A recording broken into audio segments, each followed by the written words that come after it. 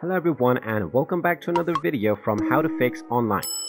In this video, I'm going to show you how to fix the issue if Netflix keeps on buffering. So let's get started right away. If you're trying to watch any show on Netflix, but if the show just keeps on buffering and doesn't move ahead, then there are a few things that might be causing this. The main issue behind this is that your internet connection is not working properly. So just go ahead and check your internet connectivity and make sure that it is working just fine.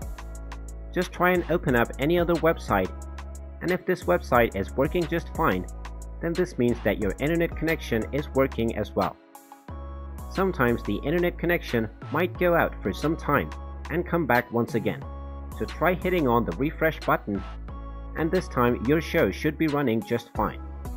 You can also try switching to an Ethernet cable connection instead of a Wi-Fi so that your shows will run more smoothly.